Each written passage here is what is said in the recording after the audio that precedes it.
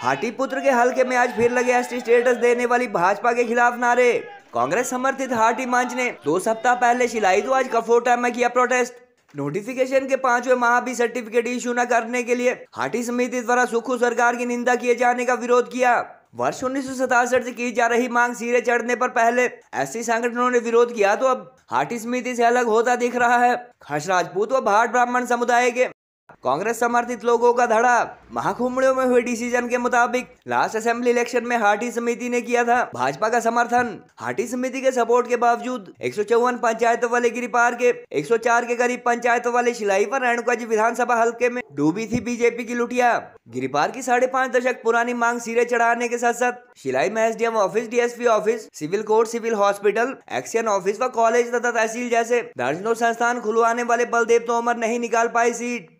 नाहन हल्के से भाजपा प्रदेश अध्यक्ष की हार का एक मुख्य कारण, हाटी इशू पर गुज्जर वोट बैंक खिसकना भी, मान रहे हैं सियासी जानकार। जब केंद्र सरकार से स्पष्टीकरण मांग रहे हैं, स्पष्टीकरण मांगा जा रहा है तो मैं बड़ा हैरान हूँ केंद्रीय हाटी समिति के लिए कि वो वहाँ पे जाके केंद्र सरकार के विरुद्ध क्यों नहीं बोलती? आखिर वो वहाँ पे क्यों नहीं बोलती कि आप यहाँ से केंद्र केंद्र से स्पष्टीकरण क्यों नहीं दे रहे आप? और वो बिल्कुल बीजेपी के लिए काम करिए बी टीम की तरह। और माननीय उद्योग मंत्री जी, जो यहाँ से हमारे मंत्री है, अगर वो गलत होते, मंत्री जी खुद कहते हैं कि हमें दिल्ली ले जाओ। हाटी विकास कल्याण मंच द्वारा जो है, वो एक रैली का आयोजन किया गया। इसमें केंद्र सरकार से साफ़ शब्दों में मांग की गई है कि हिमाचल सरकार ने चार महीने से जो चिट्ठी आपको स्पष्टीकरण के लिए भेजी है, आप उसका स्पष्टीकरण क्यों नहीं दे रहे हैं? भाजपा के प्रदेश अध्यक्ष राजीव बिंदल इस पर क्यों बात नहीं कर रहे हैं? अब उसके बाद, अभी पिछले कल ही हमारे तीन और साथी हाई कोर्ट के अंदर गए। और हाई कोर्ट के फैसले, हाई कोर्ट ने फैसला दिया इनको तुरंत जिलाधीश जिला सिरमौर को आदेश दिए गए, इनको तुरंत एसटी के सर्टिफिकेट इश्यू किए जाए सरकार के आलोचना करना और सरकार के और मुख्यमंत्री के नारे लगानों का अंजाम भी आप जानते हो क्या होता है? अगर सरकार अपने करने पे उतर आए तो सरकार बहुत कुछ कर सकती है। इस ग्राउंड में हम मीटिंग भी नहीं करने देंगे। इस ग्राउंड में परमिशन लेनी पड़ेगी। अगर हम करना चाहें यह एक ही संदेश आप लोगों के लिए है कि मेरे अंगने में तुम्हारा क्या काम है? हमारे लिए अगर कोई घोड़ा बना हुआ है हमारा ज़िले का मंत्री हर्षवर्धन चौहान बना हुआ है। और मैं कहना चाहता हूँ, हर्षवर्धन चौहान जी, ये बिल तो होकर रहेगा। ये बिल तो होकर रहेगा। लेकिन आप भी तैयार रहें। इन हटियों के संघर्ष खेलने के लिए आप भी तैयार रहें। क्योंकि हाटी के जो लोग हैं हाटी के पदाधिकारी हैं, उन्होंने जो है, भारतीय जनता पार्टी का चोला पहना हुआ है। इसलिए वो हिमाचल प्रदेश के मुख्यमंत्री से मिलने की ना उनकी हिम्मत है, ना वो ज़रूरत समझते हैं। मैं भारतीय जनता पार्टी और हाटी समिति से डरने वाला नहीं है। इन्होंने एडी चोटी का ज़ोर लगा लिया मेरे मेरे पिछली बार। और आप सबकी बदौलत और शिलाई के जो कांग्रेस पार्टी के लोग हैं, चाहे छोटा कार्यकर्ता है चाहे बड़ा कार्यकर्ता है, आपकी बदौलत जो है, मैं आज यहाँ पर खड़ा होकर हिमाचल हिमाचल सरकार में मंत्री के रूप में काम कर रहा हूँ। मुझे हाटी समिति से और भारतीय जनता पार्टी से कोई सर्टिफिकेट लेने की ज़रूरत नहीं है। मैं डंके के चोट पे बोलता हूँ। तुमने पहले भी ज़ोर लगाया और तुम्हारे में और दम होगा और दम खमराया जाएगा ना तुम्हारे पास दो को। तो दो हज़ार सताइस में भी दम खम लगा लेना। और कि हमें ये नहीं पता कि हाटी कौन है। तो ये बड़ा ऐसा अटपटा सा डाउट था कि हम शौक रह गए ऐसा कैसे हो सकता है? सरकार को पता ही नहीं हाटी कौन है। राष्ट्रपति ने कर भी दिया कि हाटी ट्रांसगिरी में रहने वाले लिखा है। तो ये तो एक ऐसा ऐसा डाउट था जिसपे हमें हमारा पहला माथा ठनका कि ये कैसे हो सकता है भाई? यहाँ लिखा है गद्दी आप ही नीचे पढ़िए फिर नीचे गुजर लिखा होगा फिर लाहौला पंगवाला किन्नौरा ये सब लिखा है। ये छह जातियाँ हुई थी। ये राष्ट्रपति की ऐसी ही नोटिफिकेशन है जैसी नोटिफिकेशन ये है। करीब तीन लाख की आबादी वाले गिरिपार क्षेत्र के लोगों द्वारा वर्ष उन्नीस से की जा रही जनजातीय दर्जे की मांग को बेशक केंद्र सरकार व लास्ट ईयर तक प्रदेश में सत्ता में रही भाजपा की सरकार ने पूरा कर दिखाया, मगर इसके बावजूद बीजेपी को यहाँ पॉलिटिकल बेनिफिट मिलना तो दूर उल्टा नुकसान होता ही नज़र आ रहा है। गिरिपाल के कांग्रेस व भाजपा नेताओं की मौजूदगी में हुई महाघुमड़ियों के फैसले के मुताबिक हालाँकि पिछले विधानसभा चुनाव में पार्टी समिति ने बीजेपी को सपोर्ट किया, मगर इसके बावजूद गिरिपाल के एक सौ चौवन में से 104 के करीब पंचायतों वाले शिलाई व रेणुका जी विधानसभा हल्के में बीजेपी की लुटिया डूब गई रेणुका में हालाँकि भाजपा की हार के कारण यहाँ पूर्व प्रत्याशी द्वारा बगावत किया जाना व पार्टी का कमज़ोर कैडर आदि समझे जा रहे हैं, मगर शिलाई से बीजेपी कैंडिडेट रहे पूर्व विधायक बलदेव तोमर पूर्व सीएम के करीबी होने के साथ साथ हिमाचल भाजपा के प्रवक्ता भी रहे और सीएम से नजदीकियों के चलते उन्होंने क्षेत्रवासियों के मुताबिक इलाके का भूतपूर्व विकास भी करवाया था। नामुमकिन कही जाने वाली गिरिपार की पचपन साल पुरानी शेड्यूल टाइप स्टेटस की मांग पूरी करवाने के बाद सिरमौर में उन्हें हाटी पुत्र के नाम से जाना जाने लगा है। एस स्टेटस की मांग सिरे चढ़ाने के साथ साथ तोमर को शिलाई में SDM office DSP office civil court civil hospital विद्युत विभाग के एक्सियन कॉलेज व तहसील जैसे कई संस्थान खोलने के लिए उस दौरान क्षेत्रवासियों द्वारा विकास पुरुष भी कहा जाता था।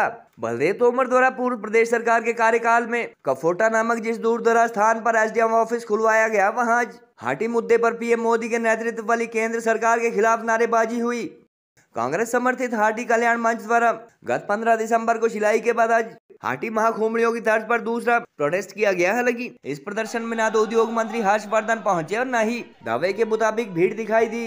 हाटी मंच के इस प्रदर्शन को संबोधित करते हुए कांग्रेस कार्यकर्ताओं व मंच के पदाधिकारियों ने महामहिम राष्ट्रपति की नोटिफिकेशन के पाँचवें माह भी सर्टिफिकेट इशू न करने के लिए केंद्र की भाजपा सरकार के खिलाफ नारेबाजी की। हिमाचल की कांग्रेस अथवा सुखू सरकार द्वारा सर्टिफिकेट इशू न किए जाने के मुद्दे के खिलाफ 5 दिसंबर को जिला मुख्यालय नाहन व 16 को शिलाई में महाकुंभड़ी कर चुकी हाटी समिति के प्रदर्शनों को भी मंच ने राजनीति से प्रेरित करार दिया। हिमाचल सरकार के उद्योग मंत्री एवं शिलाई के विधायक हर्षवर्धन का गढ़ कहलाने वाले कफोटा में। हाटी मंचगिरी पार के अन्य हिस्सों की वजह ज़्यादा सक्रिय नज़र आ रहा है।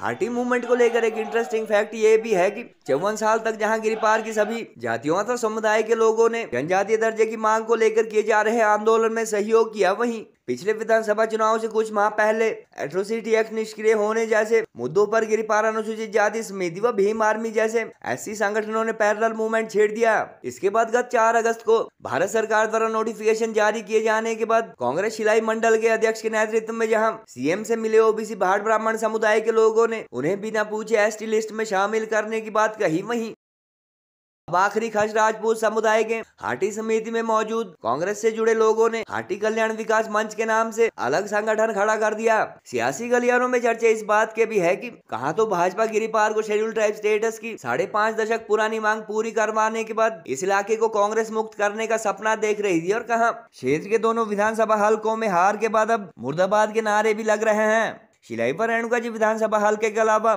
पच्छाद की भी आदि पंचायतें हालाँकि गिरिपार के अंतर्गत आती है, मगर यहाँ भाजपा की जीत का मुख्य कारण पूर्व कैबिनेट मंत्री गंगूराम मुसाफिर द्वारा कांग्रेस से बगावत कर चुनाव लड़ना बताया जा रहा है। गिरिपार के अलावा सिरमौर के जिला मुख्यालय नाहन से पहली बार भाजपा के राज्य अध्यक्ष राजीव बिंदल के हारने का एक मुख्य कारण भी राजनीति के जानकार हाटी मुद्दे का विरोध कर रहे गुज्जर समुदाय के वोट भाजपा के खिलाफ पड़ना मानते हैं। जयराम सरकार के शासनकाल में चर्चा इस बात की भी होती थी कि सिरमौर के भाजपा विधायकों वाले विधानसभा क्षेत्रों की बजाय शिलाई में कई गुना ज़्यादा संस्थान खोले गए, जिसके चलते राजीव बिंदल व सुखराम चौधरी जैसे कद्दावर, भाजपा नेताओं के हल्के के लोग भी कई बार पूर्व सीएम के करीबी के हारे हुए मित्र बलदेव तोमर के गृह क्षेत्र में भारी विकास के चर्चे करते थे। चर्चे इस बात के भी है कि इससे पहले धूमल सरकार के शासनकाल में श्यामराज भूमि लौटाए जाने का सबसे ज़्यादा बेनिफिट भी गिरिपार के खास राजपूत व भाट ब्राह्मण समुदाय को मिला, मगर उस दौरान भी एससी कम्युनिटी के एकजुट होने तथा कांग्रेस की सियासी चालों के आगे भाजपा चारों खाने चित हुई। बलदेव तोमर को हाटी मुद्दे का श्रेय दिए जाने की तरफ़ धूमल सरकार के शासनकाल में श्यामलाल भूमि लौटाए जाने का क्रेडिट उस दौरान भाजपा के पूर्व प्रदेश महामंत्री चंद्रमोहन ठाकुर को दिया जाता था, जो आज सियासी नेपथ्य में बताए जाते हैं। बहरहाल साढ़े पाँच दशक पुरानी मांग पूरी करने वाली बीजेपी को सियासी बेनिफिट मिलना तो दूर। हाटी मुद्दे पर हाटी पुत्र के ही गृह विधानसभा क्षेत्र में पार्टी की किरकिरी होती दिख रही है। पार्टी विकास कल्याण मंच द्वारा जो है, वो एक रैली का आयोजन किया गया। इसमें केंद्र सरकार से साफ़ शब्दों में मांग की गई है कि हिमाचल सरकार ने चार महीने से जो चिट्ठी आपको स्पष्टीकरण के लिए भेजी है, आप उसका स्पष्टीकरण क्यों नहीं दे रहे हैं? भाजपा के प्रदेश अध्यक्ष राजीव बिंदल इस पर क्यों बात नहीं कर रहे हैं? यहाँ से जो भाजपा के चुनिंदा सांसद है सुरेश कश्यप जी, वो इस पर बात क्यों नहीं कर रहे हैं? जबकि हिमाचल सरकार ने माननीय मुख्यमंत्री ठाकुर सुखविंदर सिंह सुक्खू जी ने उद्योग मंत्री ठाकुर हर्षवर्धन चौहान जी ने साफ़ शब्दों में कहा है कि जिस दिन भारत सरकार से स्पष्टीकरण आएगा उसके 24 घंटे के अंदर गिरिपार क्षेत्र के हाटियों को जो है उनका अधिकार मिल जाएगा। इसलिए इस मंच के माध्यम से हम आग्रह करते हैं चाहे वो तथाकथित केंद्रीय हाटी समिति है चाहे ठेकेदार नेता है कृपया आप जो यहाँ उल जलूल भाषणबाजी या उल जलूल बयानबाजी कर रहे हैं, उससे बाज आए। केंद्रीय हाटी समिति जो अपना प्रदर्शन कर रही ना, जो काम इन्होंने बहुत अच्छा चार अगस्त से पहले किया था, प्रयास किए थे, बहुत अच्छे प्रयास किए थे, सबने सराहना की लेकिन अब क्या हो रहा है कि अब सिर्फ़ एक, इन्होंने एक गाली गेंद तैयार कर दी सिर्फ़ मंचों पे क्या हो रहा है घाटी की बात बाद में होती है, पहले गाड़ियाँ शुरू होती है मुर्दाबाद शुरू होता है उसके बाद थोड़ा बहुत अगर बोल भी दिया और आप और आप ये देखो कि ठीक है आप किसी भी पार्टी का समर्थन करते हैं कोई कुछ भी करते हैं लेकिन अभी तो जो चुनी हुई सरकारें हैं चाहे हमारी स्टेट में है चाहे सेंटर में अभी तो मुद्दा उनसे सुलझेगा। आज जैसा कि यहाँ पे कफोटा में हमारे कफोटा क्षेत्र के और शिलाई क्षेत्र के जो हमारे युवा हैं हाटी युवा हैं उन्होंने यहाँ पर जो है एक रैली निकाली एक यहाँ पे जो है हाटी के मुद्दे पे जो है एक सभा यहाँ पे की। और इसमें जो मेन जो प्रमुख जो इनका जो कंसर्न रहा है जिस पे जो है चर्चा हुई है कि हिमाचल सरकार ने लगभग तीन महीने से ऊपर जो है समय हो चुका है जो केंद्र सरकार ने हमारा पचपन साल से जो लंबित मुद्दा था हाटी समुदाय को जनजाति देने का उस उसको जो है पूरा किया और उस उसकी जो है नोटिफिकेशन जो है चार अ, अगस्त को जो है गजट नोटिफिकेशन भी उसकी हो चुकी है। उसके बाद क्या हुआ कि हमारे हिमाचल प्रदेश की सरकार ने जो है लॉ डिपार्टमेंट को जब ये दिया तो उन्होंने पाया कि इसमें जो है कुछ चीज़ें अस्पष्ट थी। तो गिरिपार क्षेत्र के अंदर जो है, इस तरह से जो है, राजनीति का आधार पे जो है, हमारे जैसे यहाँ से जो माननीय उद्योग मंत्री है, उनको टारगेट करना, उनको इसके लिए जवाबदेह ठहराना, जबकि उनके पास इसका मंत्रालय भी नहीं है। इसका मंत्रालय जो है जगत सिंह नेगी जी के पास है और जो अधिकारी हैं जिन्होंने इसकी ऑब्जर्वेशन लगाई, इनकी अपनी इंटरप्रिटेशन है। इसमें जो है चौहान साहब का कोई रोल कैसे हो सकता है? वो तो उनके पास मंत्रालय ही नहीं है।